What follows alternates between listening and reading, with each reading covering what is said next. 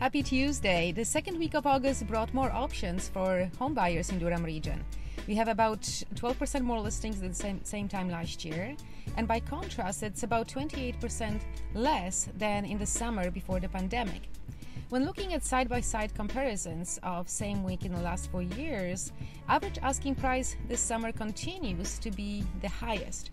Last week it was about 23% higher than same time last year. Meanwhile, average sales price was 1.4% lower than same times last year.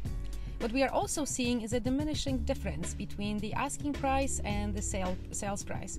What that means is that more properties that are on the market right now could potentially be open to negotiating the price down. Homebuyers do not miss those opportunities.